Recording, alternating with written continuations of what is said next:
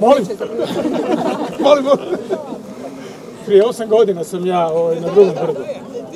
S druge strane tijentišta. Da.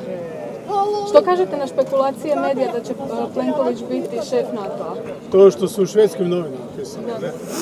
A mislim, t- sutra će Bjelo- Bjelovarac objaviti da je Banažić kandidat za šefa NATO-a, pa ćete me opet pitati da to komentiram. Ne znam, mislim, sve moguće.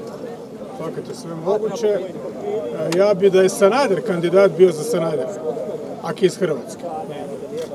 Međutim, e, niti švedske novine u ovom trenutku i jedne novine relevantan izvor. Tu se pojavljuje dosta imena, ali ono, ono što je tu bitno, dakle, e, funkcija glavnog tajnika NATO-a nije zamišljena i nikada nije funkcionirala kao nešto kreativno i politički važno. U vremenima kriza, recimo napad na i intervencija u Srbiji 99. i sada kao dva ekstrema, dakle 20 i nešto godina kasnije, e, tajnik NATO-a je medijski je prisutniji.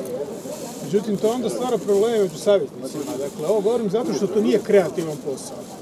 On naprosto je zamišljen da služiš članicama i naravno da vežeš konja gdje ti gazda kaže, a to su uglavnom Amerikanci.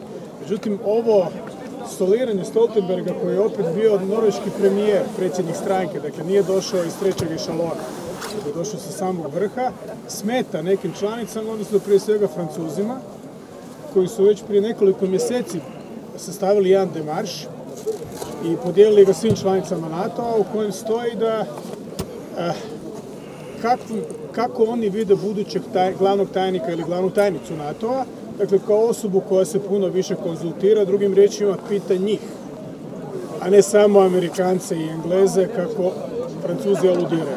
Dakle, to će, bit, to će morati biti netko ko si mora u startu izbiti iz glave da će biti kreativan, da će ga se nešto ozbiljno pitati i koji će se morati dopast prije svega Washingtonu, ali i Parizu koji se vratio u vojnu strukturu NATO-a i koji je na kraju krajeva osjetljiv. To je značajna velika država, Macron igra jednu vidljivu ulogu.